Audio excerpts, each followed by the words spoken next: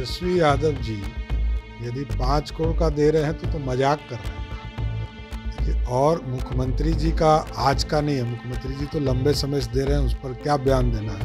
तो आदमी डेढ़ साल की उम्र में अरबपति हो गया हो। वो यदि आज पाँच करोड़ का संपत्ति दिखा रहा है तो ये मज़ाक ही बनाओ इन दोनों का क्या योगदान? नीतीश कुमार जी बिहार को सत्रह साल में बिहार अब चौपट की ओर ले जा रहे हैं। ये योगदान है ना?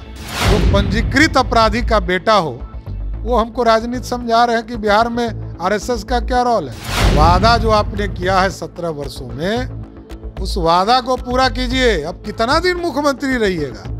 आपका मुख्यमंत्री काल भी अगले साल बालिग हो जाएगा, अठारह साल का हो जाएगा। लोगों के लिए अब नरेंद्र मोदी को आने की ज़रूरत नहीं है। यहाँ हम लोग सफिशियंट है, नीतीश कुमार को चुनाव नमस्कार, आप देख रहे हैं लाइव सीरीज़ में हूँ आपके स्ताश शिवम, साल के नए दिन। बिहार के मुख्यमंत्री नीतीश कुमार के साथ साथ उप मुख्यमंत्री तेजस्वी यादव और बिहार सरकार के सभी मंत्रियों ने अपने संपत्ति का ब्यौरा दिया है। ऐसे में तेजस्वी यादव ने अपनी संपत्ति जो है, वो पाँच करोड़ सत्ताईस लाख की दिखाई है। ऐसे में इस वक्त हमारे साथ बिहार विधान परिषद के नेता प्रतिपक्ष सम्राट चौधरी हैं, उनसे बात करेंगे। तेजस्वी यादव ने अपने संपत्ति का ब्यौरा दिया है। मुख्यमंत्री नीतीश कुमार से भी ज़्यादा संपत्ति है उनके पास। तेजस्वी यादव जी यदि पाँच करोड़ का दे रहे हैं तो तो मज़ाक कर रहे हैं ना। देखिए, और मुख्यमंत्री जी का आज का नहीं है। मुख्यमंत्री जी तो लंबे समय से दे रहे हैं, उस पर क्या बयान देना है? वो तो ऐसे भी सारी संपत्ति अपने बेटा के नाम किए हुए हैं।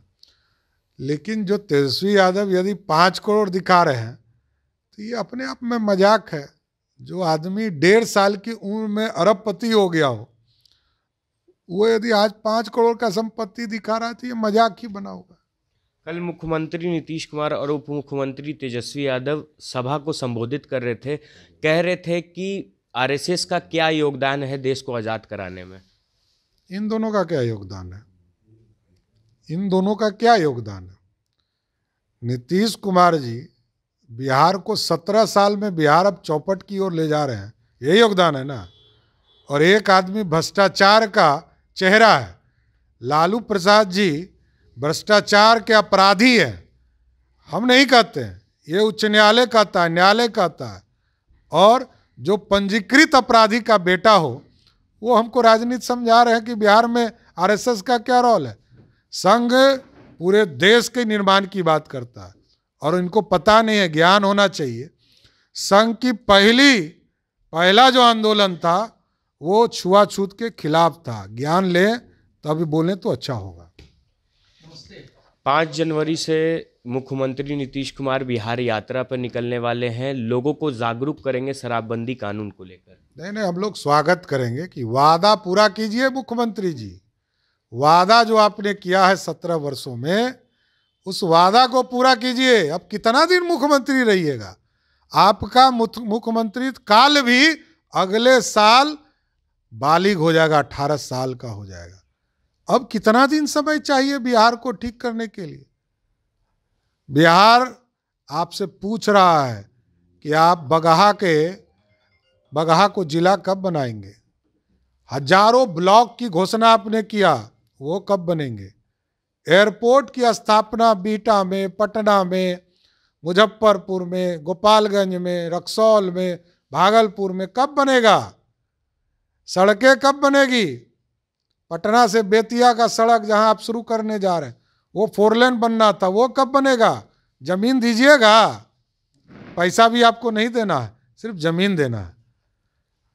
आपको रक्सौल से कलकत्ता तक की जो सिक्स लेन की एक्सप्रेस वे है, उसका ज़मीन कब दीजिएगा?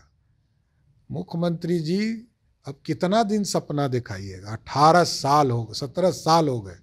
और सत्रह साल में आप कुछ नहीं कर पाए तो अब कब कब कीजिएगा? यही वादा चाहते हैं कि जिस ज़िले में जाए, स्वागत करेंगे, आप उद्घाटन करने आइए। एक आखिरी सवाल, तीन जनवरी को बीजेपी के राष्ट्रीय अध्यक्ष जेपी नड्डा बिहार दौरे पर आ रहे हैं। इस पर महागठबंधन के नेता सवाल उठा रहे हैं और कह रहे हैं कि मुख्यमंत्री नीतीश कुमार की यात्रा को देखते हुए बीजेपी ऐसा प्रोग्राम कर रही है। देखिए, भारतीय जनता पार्टी का देशव्यापी कार्यक्रम चलता है और हमारे राष्ट्रीय अध्यक्ष जी, हमारे गृह मंत्री जी, हमारे प्रधानमंत्री जी, राजनाथ जी, ये सारे लोग देश में लोकसभा प्रवास करते हैं। और लोकसभा प्रवास के कार्यक्रम के तहत वो वैशाली लोकसभा में आ रहे हैं। इन लोग को गलतफहमी हटनी चाहिए। इन लोगों के लिए अब नरेंद्र मोदी को आने की ज़रूरत नहीं है। यहाँ हम लोग सफिशियंट है नीतीश कुमार को चुनाव हराने के लिए। चलिए, हमारे साथ बिहार विधान परिषद के नेता प्रतिपक्ष सम्राट चौधरी थे, जिन्होंने सभी सवालों का जवाब दिया है। बहरहाल, अब बने रहे हमारे साथ। अगर आपने हमारे चैनल को सब्सक्राइब नहीं किया है तो जल्द से जल्द सब्सक्राइब कर ले। धन्यवाद।